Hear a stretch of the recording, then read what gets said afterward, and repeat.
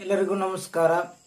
ಇಂದು ಕರ್ನಾಟಕ ಸರ್ಕಾರ ಮೋಡ ಮೋಡ ಬಿತ್ತನೆಗೆ ಏನಪ್ಪಾ ಅಂದ್ರೆ ಚಾಲನೆ ನೀಡಿದೆ. ಸೊ ಇದರಿಂದ ಆರಂಭಿಕವಾಗಿ ಚಿಕ್ಕಬಳ್ಳಾಪುರ ಹಾಗೂ ಉತ್ತರ ಕನ್ನಡ ಕೆಲವು ಜಿಲ್ಲೆಗಳನ್ನು ಆಯ್ಕೆ ಮಾಡಿಕೊಂಡು ಮೊದಲ ಮೋಡ ಬಿತ್ತನೆ ಕಾರ್ಯಕ್ರಮವನ್ನ ಹಮ್ಮಿಕೊಳ್ಳ ಹಮ್ಮಿಕೊಳ್ಳಲು ಹೋಗ್ತಾ ಇದೆ. ಸೊ ಇದರಿಂದ ಏನು ಲಾಭ ಅಪ್ಪ ಅಂದ್ರೆ ಈ ಆಕಾಶದಲ್ಲಿ ಚದುರು ಹೋಗ್ತಿರುವಂತ ಮೋಡಗಳನ್ನ ಈ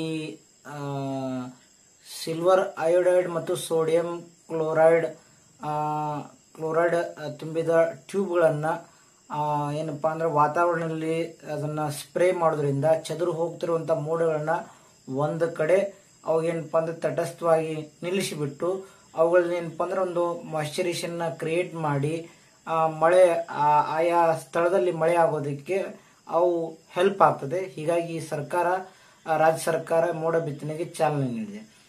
ಸೊ ಈ ತರದ ಕೃಷಿಗೆ ಸಂಬಂಧಪಟ್ಟಂತ ಹೆಚ್ಚಿನ ಮಾಹಿತಿಗಳನ್ನ ತಿಳ್ಕೊಳ್ಳಲು ನಮ್ಮ ಚಾನಲ್ನ ಸಬ್ಸ್ಕ್ರೈಬ್ ಮಾಡಿ. ನಮ್ಮ